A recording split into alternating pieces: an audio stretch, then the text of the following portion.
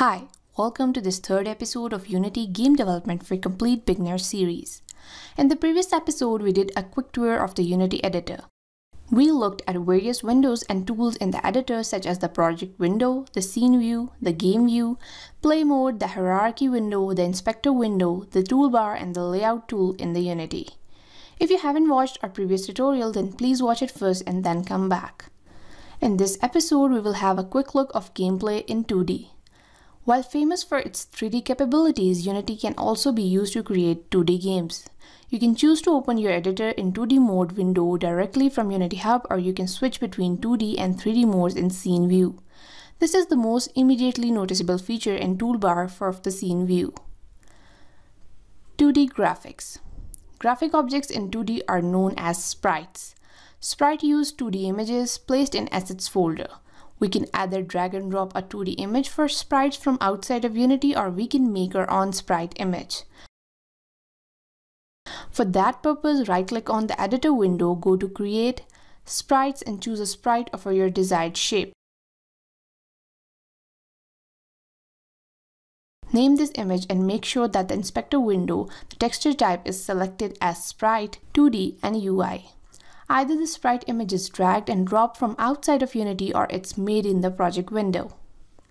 It's a good practice to keep everything in separate folders so for our sprites we will make a folder named sprites and move our sprites into the sprites folder.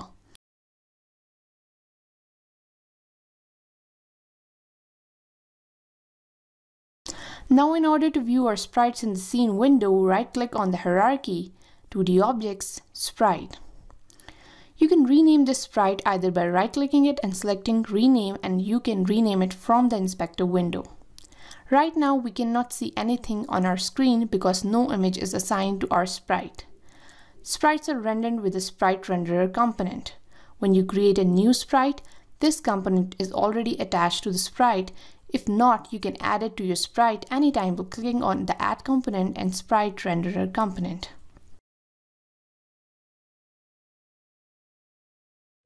Now you simply drag and drop your sprite image to the sprite component of sprite renderer while the sprite being selected in the hierarchy. Or you can click on this round circle, a new window pops up showing all the sprites in your project window. You can simply select your sprite image from there. You can change your sprite image anytime you want. There are some other properties in the sprite renderer component like flipping your sprite on the X and Y axis and many others that we don't need to learn at this point. That was all for this episode. In the next episode, we will learn about sorting layers in Unity and how we can sort sprites in a layer or multiple layers.